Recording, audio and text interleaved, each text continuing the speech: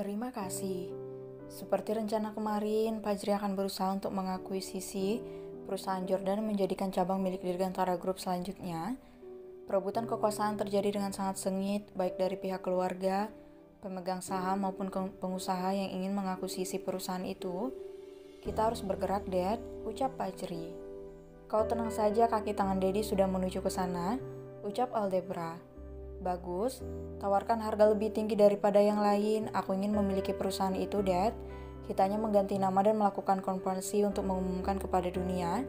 Ucap Fajri begitu ambisius. Cak, sudahlah Ji, kau hanya punya anak tiga. Mana kuat mereka mengurus seluruh perusahaan itu? Ucap Aldepra. Apa Dedi lupa jika anak Ipana masih ada? Tanya Fajri.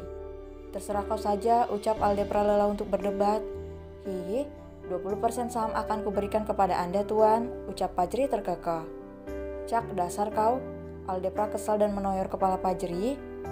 Ih, kepalaku yang berharga, ucap Pajri kesal sambil mengelus kepalanya sendiri. Hari ini Pajri kembali diminta keterangan untuk kasus ini. Ia mendapat beberapa orang pengacara dari juru bicara kenegaraan, sehingga membuat semua tuntutan untuk Jordan dan Chelsea bisa diproses dengan cepat. Kita hanya tinggal menunggu, mungkin Nona Ipana juga akan diminta keterangan setelah ini, ucap pengacara itu. Nanti akan saya konfirmasi lagi, terima kasih sudah membantu kami, ucap Fajri tersenyum.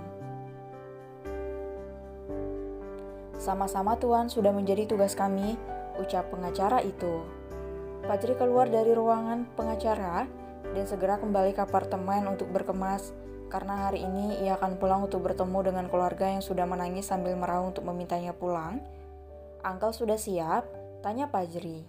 Sudah tuan, silakan, ucap Joe. Mempersilahkan Pajri untuk keluar terlebih dahulu. Mereka segera pergi menuju bandara karena jadwal penerbangan kurang dari satu jam lagi. Bagaimana dengan perusahaan? Tanya Pajri. Semuanya aman tuan. Untuk ak akuisisi mereka masih berdebat untuk mendapatkannya, ucap Joe. Bagaimana juga kita harus mendapatkan perusahaan itu, ucap Pajri. Akan kita usahakan tuan, ucap Joe. Tak lama mobil berhenti di bandara, Pajri segera menaiki pesawat yang akan mengantarkannya untuk pulang ke Indonesia. Di kediaman Dirgantara, Malik, Felicia, Brian, dan Atim tengah berkumpul di dalam kamar Ipana. Mereka hanya menggeleng melihat pasangan bucin ini begitu sehati, sakit satu, sakit keduanya. Mau bagaimana lagi namanya juga manusia, bisa sakit kapan saja, ucap Ipana enteng. Ia suka hati Anda, Nona, ucap Malik mendelik. Saya masih kesal dengan Tuan Pajri. Kenapa Timbol ikut sementara saya tidak, ucap Pelsia tidak terima. Bukan tanpa alasan, apa kau sudah menyelesaikan sabuk hitam terakhir? Bagaimana dengan sekolah menembakmu? Jika itu semua belum bisa kau selesaikan berarti kau hanya mengantarkan nyawa ke sana? Ucap Atim ketus. Cok, saya sudah menyelesaikan sabuk hitam. Untuk sekolah menembak belum tinggal ujian akhir saja. Ucap Felicia tak kalah ketus. Apa kau siap menjadi seorang pembunuh? Tanya Atim dingin. Mem membunuh? Tanya Felicia terkejut. Kau pikir kami pergi parade? Ucap Atim ketus. Felicia bergenik-geri melihat ke arah Brian, Atim, Ipana, dan Karenja. Begitu juga dengan Malik yang terkejut mendengar ucapan dari Atim. Kenapa? Apa kau ingin kami bunuh juga? Tanya Atim tersenyum semirik. Felicia membulatkan matanya. Kak, kau jangan macam-macam. Pekiknya mengatap Ipana untuk meminta bantuan. Sudah, jangan berantem terus, ucap Ipana melerai. Iya, mereka sudah membunuh orang, untung saja saya belum. Sambungnya sambil menatap Noah begitu tenang di dalam pelukannya. Astaga, aku berada dalam circle pembunuh. Bagaimana ini? Kontrak masih tersisa lima bulan lagi dan kemarin aku sudah menandatangani kontrak baru. Batin Felicia. Kenapa? Apa kamu berpikir untuk keluar dari pekerjaan? Tanya Ipana tersenyum. Tidak, Nona, ucap Felicia menunduk. Jika kau ingin silakan, saya tidak memaksa. Lagian sudah waktunya juga kamu memikirkan masa depan, begitu juga denganmu, Mbak. Ucap Ipana tersenyum. Atim dan Felicia terdiam, mereka menatap dua pria tampan itu dengan lekat, sementara Malik dan Brian begitu senang mendengarkan ucapan Ipana yang sudah mengizinkan mereka untuk membawa kabur pasangan masing-masing. Pikirkanlah, tetapi jika masih ingin bekerja dengan saya silahkan. Saya tidak melarang karena memang saya masih membutuhkan kalian, ucap Ipana. Saya masih ingin bekerja, Nona. Mengingat kondisi Anda saat ini, hati saya masih belum bisa melepaskan tanggung jawab untuk menjaga Anda. ucap Atim tegas. Brian terkejut mendengarkan ucapan Atim. Ia tidak menyangka jika wanita itu tidak memilihnya setelah apa yang ia katakan semalam.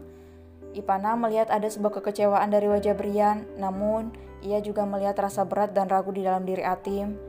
Saya menghargai keputusanmu, tetapi untuk selanjutnya pikirkanlah dengan begitu jelas apa yang akan Mbak lakukan selanjutnya. Ucap Ipana tersenyum. Bagaimana denganmu Felicia? Sambungnya. Saya, saya juga masih ingin bekerja dengan Anda, Nona. Ucap Felicia. Ia mengangkat kepala dan menatap Malik yang berada di sebelahnya tapi saya juga ingin menata masa depan dan membangun sebuah keluarga seperti Anda, ucap Felicia tersenyum. Malik berbinar usahanya selama ini tidak sia-sia, ia segera memeluk Felicia yang ada di sampingnya dengan begitu bahagia. Ya boleh selesaikan dulu kontrakmu dan minta perpanjangan kepada Pak Pandu, ucap Ipana tersenyum. Terima kasih Nona, ucap Malik dan Felicia bersamaan. Ipana tersenyum menatap ke arah mereka, persiapkanlah biar saya yang akan menanggung semua biayanya, Ucapnya membuat Malik dan Felicia tersenyum bahagia. Terima kasih Nona, terima kasih. Ucap mereka merasa begitu senang. Berbeda dengan pasangan Brian dan Atim yang masih terdiam sambil menyelami perasaan masing-masing. Terima kasih karena sudah menemaniku selama ini, ucap Ipana tercekat. Keranjang sudah terlelap di sampingnya dengan begitu tenang. Semua orang menatap Ipana penuh haru apalagi Atim yang lebih dulu mengetahui bagaimana kerasnya Ipana berjuang hingga berada di titik ini. Bahkan kalian dengan sukarela mempertaruhkan nyawa hanya untuk melindungiku, ucap Ipana dengan air mata yang menetes. Nona, semuanya sudah menjadi kewajiban kami, jadi jangan berterima kasih, ucap Atim liri. Tidak apa, aku memang harus berterima kasih, ucap Ipana tersenyum. Tok, tok, tok, Bunda Lala mau masuk, ucap Nela dari luar dengan tidak sabaran. Malik berdiri dan membuka pintu. Ia tersenyum ketika melihat bocil kembar itu tengah tersenyum sambil membawa sekeranjang buah segar. Mau ngapain? Tanya Malik tersenyum. Kita mau ngantar buah untuk bunda dan ayah om, ucap Narin tersenyum. Malik berjongkok, apa om boleh minta satu? Bisiknya dengan pelan.